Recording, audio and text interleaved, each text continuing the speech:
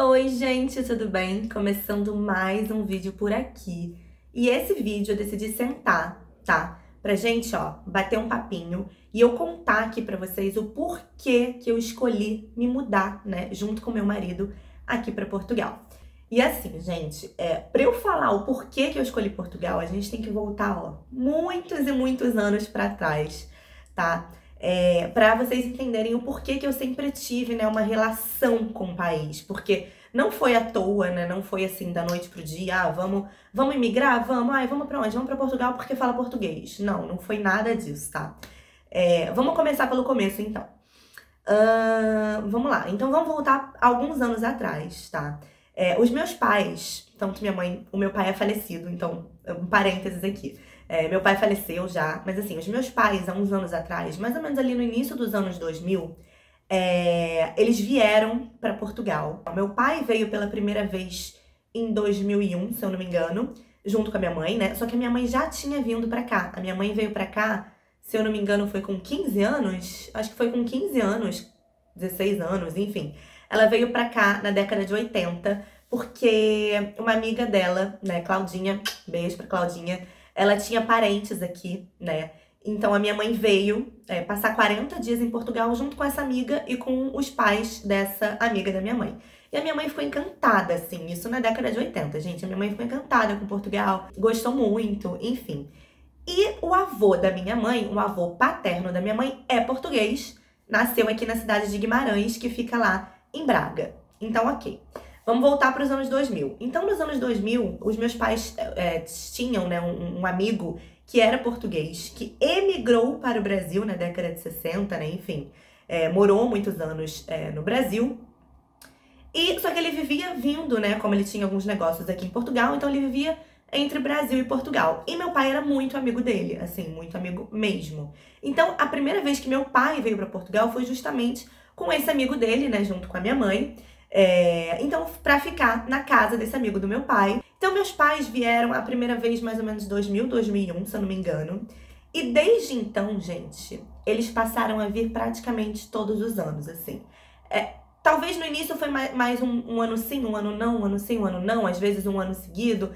Enfim, eu nunca vim com os meus pais. Eu era pequena, eu devia ter 10, 11, 12 anos, né, quando eles vieram pela primeira vez, então eu ficava com a minha avó, minha avó esta que vocês conhecem muito bem, a Dadá. Então, e eles sempre vinham assim, mais ou menos em agosto, né? Então, em agosto é, eu não tava de férias, eu tava na escola, então eu ficava aí um mês com a minha avó, meus pais ficavam aqui um mês de férias. Uh, e nisso, é, os meus pais sempre gostaram muito de Portugal, sabe? Essas vindas deles, né, é, sempre é, foram, enfim, sempre marcaram muito né, a vida deles. E quando minha mãe voltava para o Brasil, gente, ela passava aqui, né, um mês, um mês e pouco. Quando ela voltava para o Brasil, assistia RTP, SIC, enfim, o canal português, assim, o dia inteiro. Via o jornal. Então, minha mãe sabia tudo o que acontecia no país, sabe? Porque ela assistia todos os jornais, sabia os horários de todos os jornais. Minha mãe assistia os programas, é, a minha mãe assistia Praça da Alegria, inclusive. Eu sei a música da Praça da Alegria, antiga, né? Não sei, acho que, acho que a música não é mais essa. Mas assim, ali na, nos anos 2000 e pouco, eu sabia a música da Praça da Alegria, sabe? De tanto que minha mãe assistia. Tem conversas com humor, sempre feitas com amor. É na Praça da Alegria, nas manhãs de cada dia. Gente, eu sabia real a música, tá? Era muito, muito engraçado, assim, sabe? Então a cultura portuguesa, assim, foi meio que entrando ainda mais na minha família. Por que, que eu falo ainda mais? Porque eu sou bisneta de português dos meus dois lados, tá? Como eu falei para vocês, a minha mãe, o avô paterno da minha mãe é de Guimarães. E os dois avós do meu pai, tanto o avô paterno quanto o avô materno, são aqui de Portugal. Um avô é de Viseu e o outro é de Pova do Lanhoso, lá em Braga também. Então, assim, Portugal já tá no meu sangue, ó, há muito tempo. É, então, desde que meus pais, né, eu, eu vivi a minha é, pré-adolescência inteira e, e, a minha vida adulta, vendo os meus pais vindo sempre para Portugal. Sempre. Eles tinham uma relação muito boa, né? É, inclusive com, com esse amigo dos meus pais. É, então eles vinham muito e a minha mãe, cada vez que vinha, parece que a cultura portuguesa enraizava nela, né? Enfim, é, então eu sempre cresci um pouco com Ah, é Portugal, Portugal, Portugal. E nunca tinha vindo, tá, gente? A primeira vez que eu vim para Portugal foi em 2016.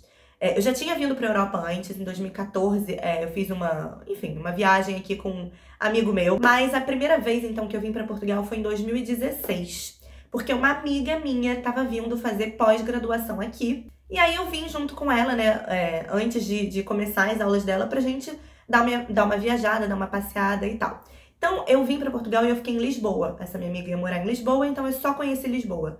Os anos foram passando, é, o meu pai acabou falecendo, é, e sempre tinha uma coisinha assim na minha cabeça de, cara, um dia eu vou morar em Portugal, um dia eu vou morar em Portugal. É, não sei, eu, principalmente depois assim que meu pai faleceu, sabe? Eu, sabe, gente, é coisa de outro mundo, assim. Sabe quando você sentia que você sua vida ia ser aqui agora, sabe? Eu sentia uma pulguinha assim, cara, eu vou para Portugal, nossa, eu acho que meu pai ia ficar tão feliz se eu morasse em Portugal é, né, o lugar que ele amava, o país que ele amava, que tá no meu sangue, né, nas minhas raízes, enfim, eu ficava com essa pulguinha atrás da orelha. É, e aí fui morar com o Fábio, né? E eu já tinha falado com o Fábio sobre isso, já tinha falado, Fábio, é, o que, que você acha da gente morar em Portugal? Só que o Fábio é, é meio assim, ele era um carioca bem cariocão, assim, sabe? Aquele carioca surfista, gostava de praia, não sei o quê. E ele falava, não, linda, tipo, o que a gente vai fazer em Portugal, sabe? Eu não vou conseguir emprego. Tipo, tamo bem aqui, você tá com seu emprego, eu tô com meu emprego, vamos fazer o que lá e tal. Beleza. Os anos foram passando e eu com aquela pulguinha. Até que em novembro de 2022, eu lembro exatamente a data, tá? No dia 4 de novembro de 2022, eu cheguei pro Fábio assim, despretensiosamente, eu já sabia que a resposta dele ia ser não, né? Eu falei, lindo, e aí? O que, que você acha? Poxa, sei, né? O Brasil tá meio. Tá, tá meio inseguro. A gente já tava pensando em ter filho também, né? Já passava pela nossa cabeça que é mais ou menos um, um curto, médio prazo a gente gostaria de ter filho e a gente não tava. Tava com medo de ter filho no Brasil, assim. Por N questões, por questões financeiras, né? Você, poxa, é, colocar um filho no mundo é muito caro, óbvio, aqui não é diferente, tá? Mas assim, lá você não tem um ensino de qualidade no, no ensino é, é, no ensino público. Aqui você já tem um ensino melhor no ensino público. Então lá, poxa, pra gente colocar o nosso filho numa escola particular, a gente ia gastar rios de dinheiro. Né? Um plano de saúde lá é muito caro. E fora a questão da segurança, que é assim, que é a que mais, né, é, fez com que a gente de fato é, se mudasse para cá, assim. O, o Brasil, o Rio de Janeiro, ele não tá seguro, não tá mesmo. Ah, Bruna, você foi assaltada alguma vez na vida? Não, gente, nos meus 32 anos que eu morei no, no Rio, eu nunca fui assaltada, assim. Pra não falar nunca, eu fui abordada uma vez, mas eu e uma amiga minha, a gente fugiu. É, então, assim, não aconteceu comigo em 32 anos, poderia não acontecer com meu, com meu filho. Mas a gente sabe que não é assim, né, gente? Que imagina o coração da mãe quando o filho sai, enfim. É, a questão da segurança tá muito ruim no Brasil. Essa, essa é a real, assim. Então, isso também fez com que, né, aumentasse a nossa vontade de vir pra cá. E aí, nesse dia 4 de novembro de 2022, eu falei, e aí, lindo, vamos, não sei o quê. E, surpreendentemente, ele falou, Bruna, vamos. Tipo, se esse amigo do seu pai, que é esse amigo português que mora aqui, conseguir um emprego para mim, a gente vai. Porque o Fábio, ele não queria vir. E eu também não, tá, gente? Sem absolutamente nada. Tipo, vamos e vamos procurar emprego em Portugal. É, a gente é um, a gente é um pouco pé no chão, assim, na, nesse sentido. Não desmerecendo ou, enfim, falando que as pessoas que não vêm dessa forma são, são malucas. Nada disso, tá? Inclusive, vocês são muito corajosos, assim. Quem larga tudo lá pra vir pra cá, assim, sem ter apartamento, sem ter emprego, sem ter nada. Realmente, vocês são muito corajosos, tá? Não era o nosso caso, né? A gente tinha uma mínima estrutura. Por que, que eu falo isso? É, eu, gente, tenho cidadania portuguesa. É, inclusive, meu pai, nessas vindas que ele vinha sempre para Portugal, é, ele viu ali a oportunidade. Opa, peraí, eu posso tirar a cidadania. Então, lá no início dos anos 2000, né, eu, meu pai tirou a cidadania, enfim, a minha avó teve que tirar. É, passou para meu pai e passou para mim. Então eu tenho cidadania portuguesa, né, há muitos anos. Então isso já me facilitaria assim e muito a minha entrada, a minha estadia aqui em Portugal, né? Eu tenho é, passe livre, digamos assim. Uh, e aí, beleza, então vamos. E ele falou: ah, então se, se, esse amigo do seu pai conseguir um emprego, né, a gente vai. É, e aí eu falei com a minha mãe, obviamente, porque esse amigo do meu pai, ele tem, né? Ele é empresário, enfim, tem alguns negócios aqui. E a minha mãe falou com ele. Ele falou, claro, tipo, imagina, pode falar pra Bruna vir, né? Que emprego eu garanto. Então, beleza, com emprego a gente se olhou assim e falou: vamos, então, sabe? Vamos, uma nova vida, enfim, vamos arriscar. É, e era muito aquilo assim, eu ficava pensando. Aí, deixa eu fazer um outro parênteses aqui. Tanto eu quanto o Fábio a gente trabalhava, tá? Eu trabalhava numa empresa é, muito grande no Brasil, muito grande mesmo, uma marca que todos, todos vocês conhecem, tá? É, e eu ia pedir demissão dessa empresa, né? Na verdade, eu pedi, mas deixa eu chegar lá. E assim, essa era a parte que eu tava muito triste, assim, porque eu tava, né, com uma carreira lá no Brasil, é, especialmente nessa empresa, então eu teria que abandonar tudo de fato para vir para cá a gente precisava de pelo menos um trabalhando e o outro, né? Quando eu chegasse aqui, a gente organizasse a vida, eu ia começar a procurar emprego aqui. Então, o principal era mesmo o emprego pro Fábio. E aí, é, eu fiquei, né? Eu confesso que eu fiquei meio. É, com, com dó, com pena de largar a minha empresa, enfim, a minha carreira, largar tudo aquilo que eu construí, né? Até que em janeiro de 2023, a minha empresa, agora eu vou dar uma dica que quem é, quem, quem, quem sabe, sabe, tá? É, a minha empresa passou por um rombo, assim, foi, foi notícia em tudo quanto é, quanto é jornal. É, a minha empresa entrou numa crise, né? Uh, em dívidas, enfim, aconteceu umas coisas. E a minha empresa estava passando por uma crise e muita gente ia ser mandada embora, tá? Então, quando eu soube dessa notícia, eu falei, nossa. É, óbvio, eu tava muito triste por todos os, né, os meus colegas de trabalho, né? Mas ao mesmo tempo eu parei e pensei em mim, eu falei, nossa, eu acho que isso é um, é um aviso, assim, para eu ir sem olhar para trás. Tipo assim, Bruna, é o que é, é, a, é a. Qual é a palavra, gente? É o incentivo que você estava precisando.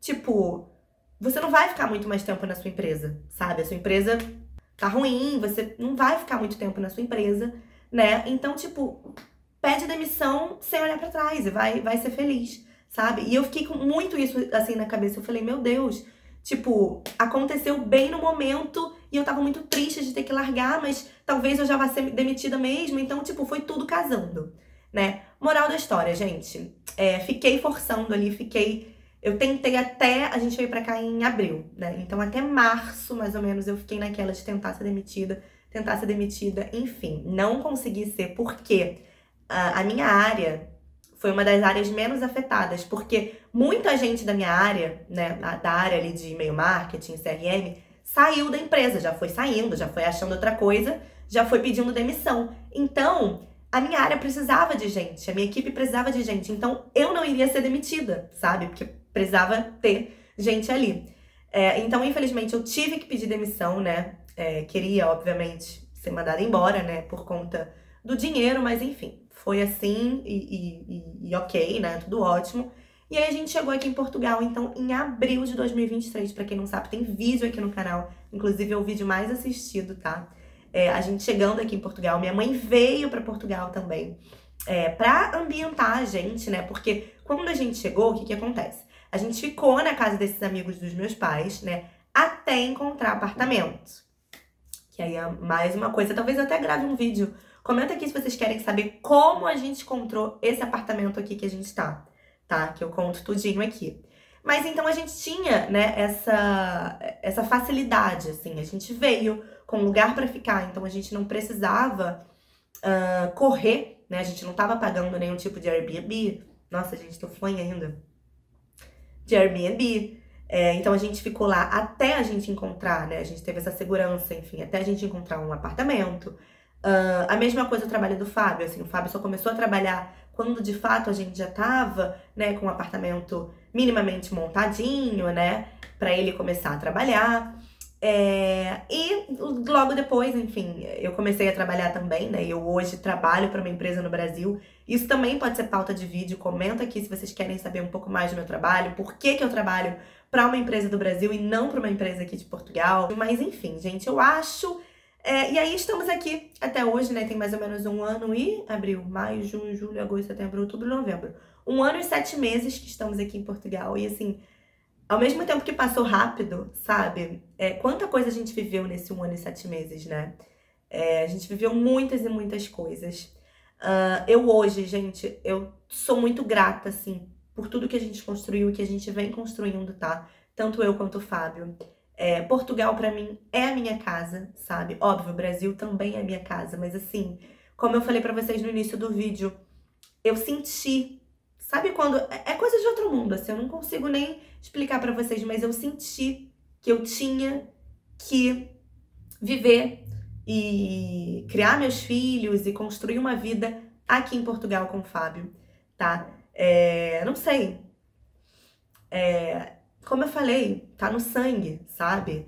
É, as minhas origens são aqui de Portugal. Então, eu tô muito, muito, muito, muito feliz mesmo. É, eu fiz esse vídeo aqui, espero que não tenha ficado tão longo, né? Mas eu fiz só para ambientar mesmo vocês, né? O porquê que eu escolhi Portugal. Na verdade, Portugal também me escolheu, né? Desde novinha, enfim, com os meus pais sempre vindo, a cultura portuguesa, a TV portuguesa, né? Entrando na minha casa. É, eu acho que não tinha como eu, enfim, ir para outro país, né? É, se eu saísse do Brasil, é óbvio que seria Portugal. Eu nunca pensei em nenhum outro país.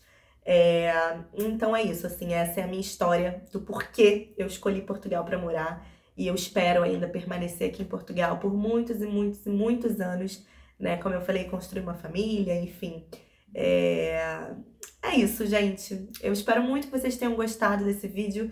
Se vocês gostaram, não esqueçam de curtir, comentar, compartilhar, se inscrever no canal, me acompanhar também no Instagram, que eu consigo postar aqui um pouquinho dessa minha vida aqui em Portugal em tempo real. E era isso. Eu vou ficando por aqui e vejo vocês no próximo vídeo. Beijo, tchau, tchau!